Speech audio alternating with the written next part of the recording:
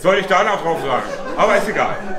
Liebe Genossinnen und Genossen, sehr, verehrte, sehr geehrte Vertreterinnen und Vertreter der Presse, äh, ich stelle mich ganz kurz vor, wobei die meisten kennen mich. Stefan Schmeink, Bocholter, seit zehn Jahren Stadtverordneter, noch längere, äh, äh, längere Zeit Vorsitzender im Ortsverein, zunächst Mitte, nunmehr Mitte Nordost, wobei in dem Bereich muss ich gleich noch mit einem Genossen sprechen im.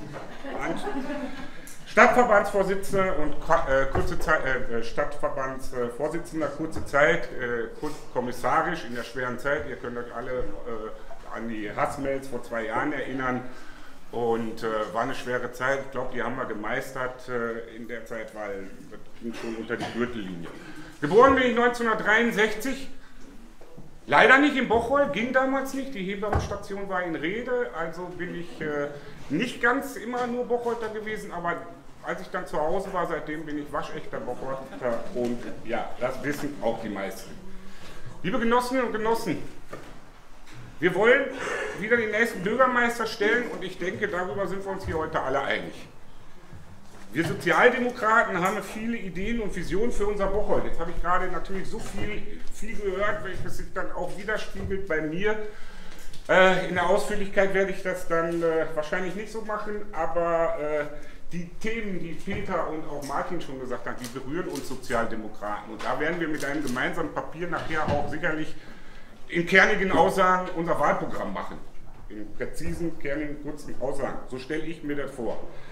Es geht nun darum, wie gehen wir die Kommunalwahl an, was sind unsere Prioritäten und wer steht in erster Reihe als euer Bürgermeisterkandidat.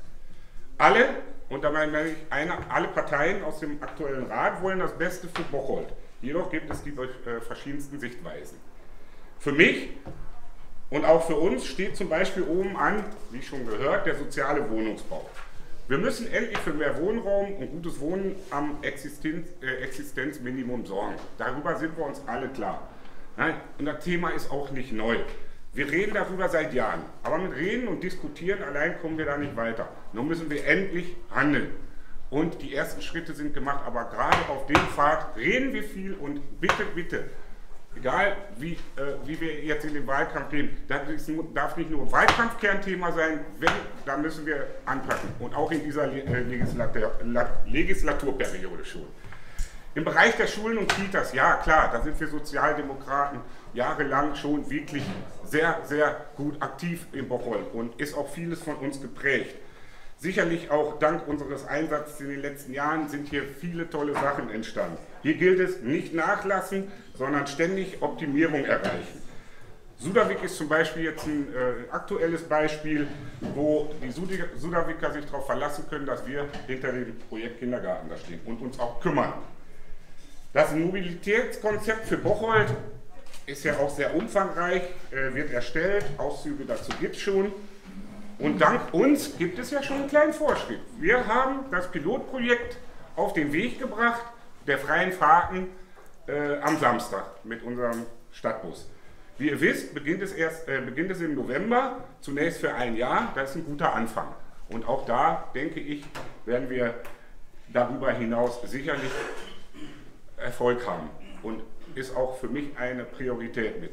Eine Bahnverbindung nach Münster hat für mich nicht nur Charme, sondern wäre für mich zwingend notwendig. Auch da sollten wir und werde ich, wenn ich den Bürgermeister werden darf, äh, alles für setzen, weil für mich ist das ein ganz wichtiges, dass wir die Bahntrasse nach Münster wieder aktivieren.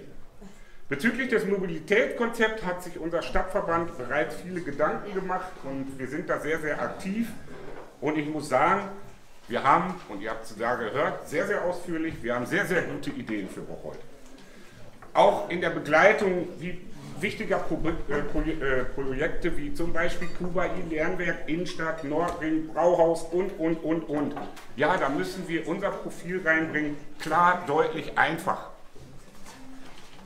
Im Bereich der Innenstadt müssen wir was umsetzen, ist auch bekannt. Wir dürfen jetzt nicht so tun, als wenn wir keine schöne Innenstadt haben. Wir haben Punkte, die müssen tatsächlich verbessert werden. Viele gute Ideen kommen dort schon zusammen. Die Innenstadt muss ein Erlebnis sein für Bocholter und für Gäste. Für mich hat hier, und bitte nicht falsch verstehen, die Gastronomie einen enormen Stellenwert. Mit Gastronomie meine ich Restaurants, Cafés, Kneipen, Eisdielen und alles, was dazugehört. Der Besuch einer Innenstadt schränkt sich nicht mehr aufs reine Einkaufen. Shoppen, Dienstleistungen und Kulinarisches ist das Erlebnis in der Innenstadt und das muss für Jung und Alt geschaffen und gefördert werden. Aufgrund der begrenzten Redezeit kann ich hier nicht näher auf alle Themen eingehen. Ihr wollt schließlich noch wissen, warum ich euer Bürgermeisterkandidat werden möchte. Doch eins wollte ich noch erwähnen, dass mir der Sport sowohl als Vorsitzender eines Vereins sowie in der Politik sehr am Herzen liegt, ist bekannt. Bocholt hat in den letzten Jahren mit großer Unterstützung unserer Partei vieles für den Sport getan. Das muss und wird so bleiben. Schließlich sind hier viele Ehrenämtler aktiv. Ehrenämtler genießen meinen größten Respekt in allen Bereichen. Das, was wir Gutes für Bocholt wollen und in unser Wahlprogramm schreiben, müssen wir gemeinsam machen. Zeitnah, klar und verständlich. Wir stellen seit 2004 den Bürgermeister. Bocholt war seinerzeit satt, von einem in Anführungsstrichen hochqualifizierten Verwaltungsmann, Anführungsstriche geschlossen, der offensichtlich sehr wenig Gefühl und Respekt für die Bürger hatte, weiter angeführt zu werden. Mit seiner Bürgernähe hat es Peter Nebelow geschafft, diesen Bürgermeister abzulösen und zwei weitere Wahlen für sich entscheiden zu können. Hey, liebe Genossen und Genossen, Peter macht einen guten Job.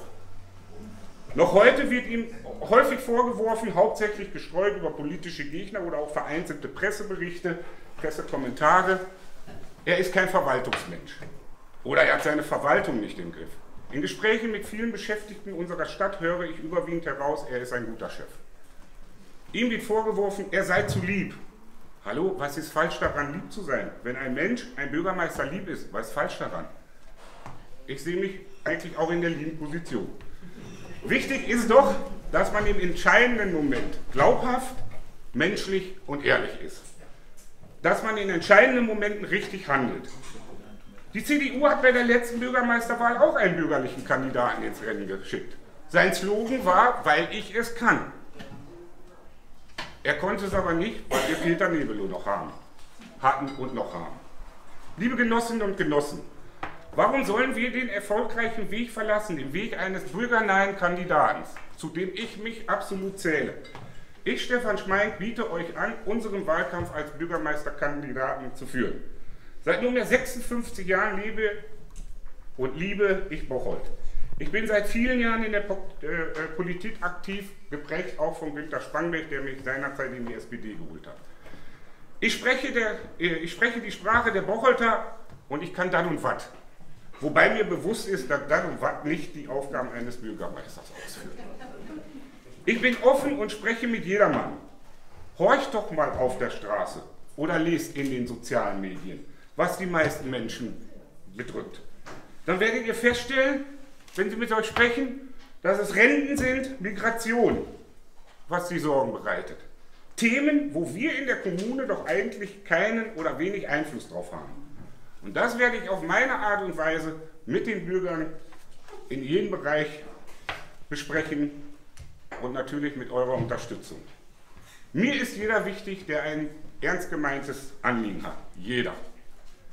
Ich werde die offene Bürgersprechstunden wieder einführen, aber wer mich kennt, der weiß, dass ich auch außerhalb der offenen Bürgerstunden ein offenes Ohr immer habe.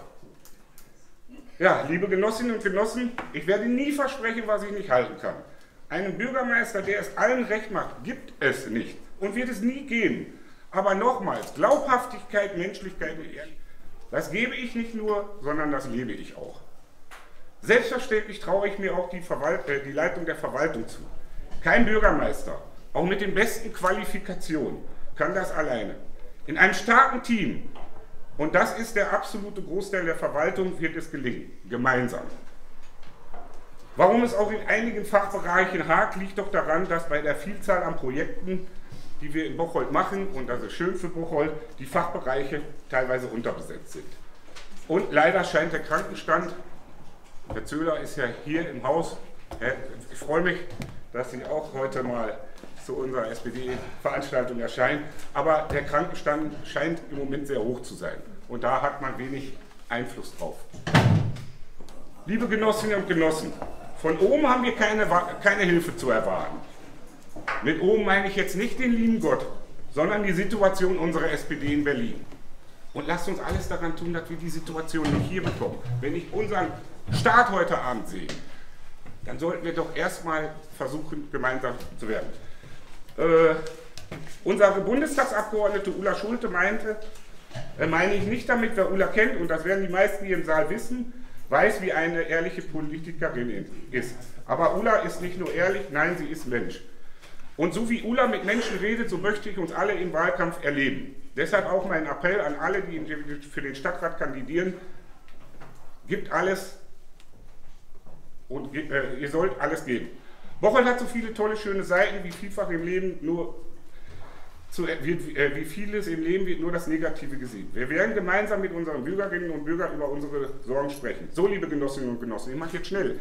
Lasst uns gemeinsam unser Wahlprogramm erstellen, ausführlich, aber in den Kernaussagen kurz und für jedermann verständlich. Lasst uns rausgehen, vor allem zu den Leuten, die mitgenommen und ernst genommen werden wollen. Lasst uns erreichen, dass die Leute sagen, wow, die von der Bocholter SPD, die sind gut. Lasst uns Genossinnen und Genossen zurückholen, die unsere, uns wegen der Bundespolitik machen, so wie 2.4, 2.9, einer für alle und 2.15, einer für alle, alle für einen. Lasst uns machen, lasst uns es machen. Ich werde ich bleiben, der Stefan Schmeink, wie man ihn kennt, in seiner Art und Weise und nicht verbiegbar. So, das war's mit meiner Ausführung. Gebe zu, dass ich doch ein bisschen nervös war. Bin eben auch nur ein ganz normaler Mensch. Die Entscheidung, wer Bürgermeisterkandidat wird, liegt bei euch. Bitte horcht in den nächsten Zeiten rum, äh, wie die einzelnen Kandidaten auch äh, gesehen werden. Ich will es machen, weil ich absolut, aber auch wirklich absolut der exakte Gegenpart zu einem Kandidaten bin, der aus Geschan nach Bocholt will. Weil ich Bocholter bin und Bocholt liebe und Bocholt lebe. Weil ich es mit euch kann, weil ich Bock auf einen Wahlkampf habe. Unser Hauptslogan der letzten Kommunalwahl muss nur um ein Wort verändert werden: Stefan wählen. Dankeschön.